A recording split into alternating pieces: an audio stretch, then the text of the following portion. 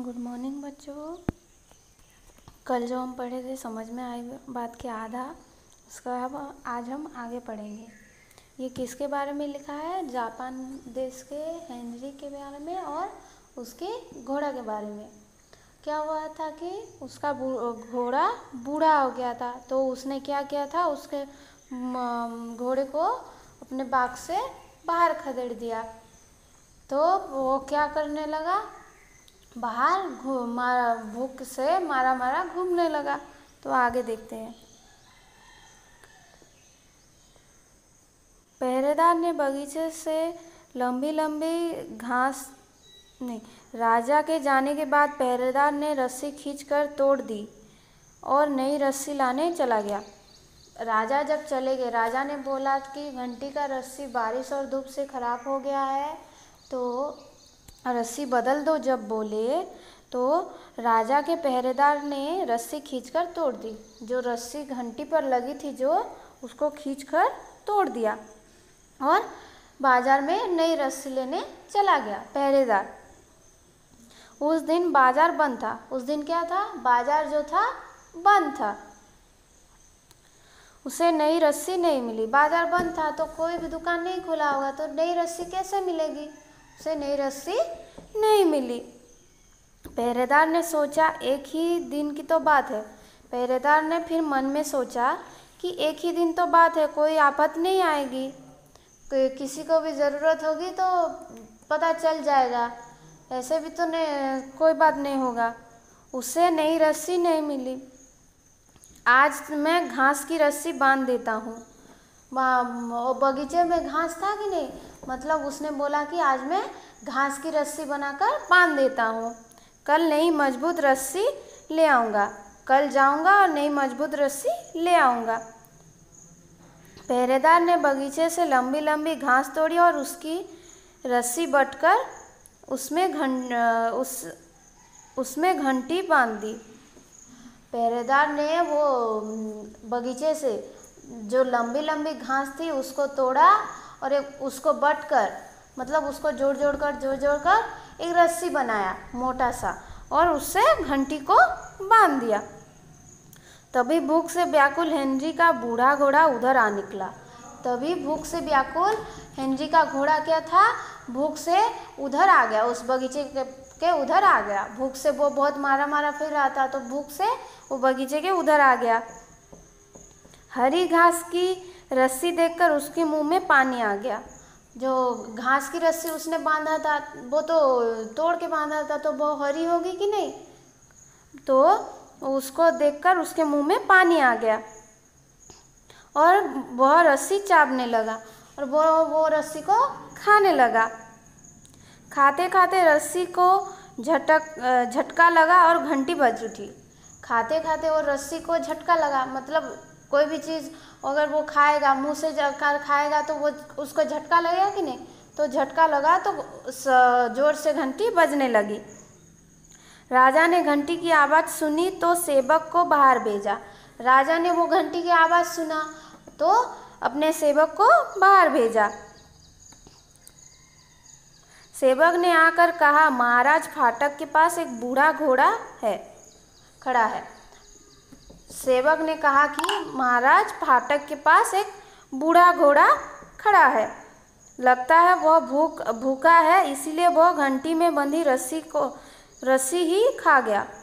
वो बहुत भूखा है, वो जो बूढ़ा घोड़ा था वो बहुत भूखा है, इसीलिए वो रस्सी, जो घंटी में बंधा था, उसे खा लिया। राजा ने राजा ने तुरंत सेवक को आज्ञा दी। घोड़े को बगीचे में लाया जाए और उसे दाना पानी दे, दो। राजा ने उस घोड़े के बारे में जब सुना, वो बहुत भूखा है और रस्सी को खा लिया तो उसने क्या राजा ने क्या किया? तुरंत अपने सेवकों को आज्ञा दिया और बोला कि घोड़े को बगीचे में ले आओ और उसके दाना, उसको दाना पानी दो। उसको खाने पीने का इंतज़ाम करो घोड़े का। उसने घंटी बजाकर हमारी सहायता मांगी है। उसने घंटी जो बजाई है हमारी सहायता मांगने के लिए चाहे वो खाए खाकर भी बजाए क्यों ना हो।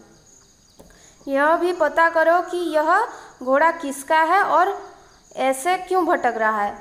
और राजा ने कहा कि ये भी पता करो कि अगर ये घोड़ा किसका है और ये क्यों भटक रहा है चारों ओर।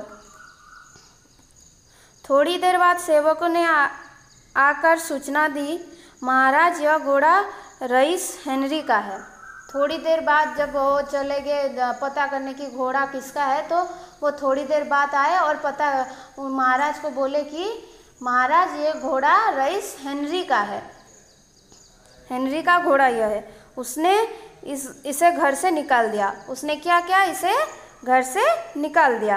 राजा ने हेनरी को बुलावा भेजा। राजा ने क्या किया? हेनरी को बुलावा भेजा। मतलब किसी के हाथ हेनरी को लाने के लिए। हेनरी राजा के सामने उपस्थित हुआ। हेनरी आया और राजा के सामने खड़ा हो गया। राजा ने पूछा, क्या यह घोड़ा तुम्हारा है? राजा ने पूछा कि, ये जो बूढ़ा घोड़ा है क्या ये तुम्हारा है क्या? जी महाराज, हेनरी ने कहा। हेनरी ने क्या कहा? हाँ महाराज, ये घोड़ा मेरा है, बोला। तुमने इस इससे तुमने इसे घर से क्यों निकाल दिया? राजा ने पूछा।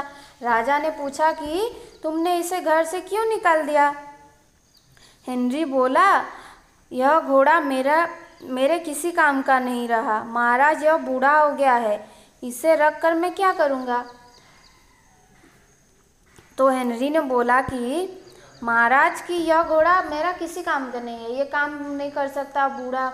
यह घोड़ा बूढ़ा हो गया है। तो मेरा कुछ भी काम नहीं कर पा रहा है मेरा सेवा नहीं कर पा रहा है इसलिए मैं इसे रख कर क्या करूँगा?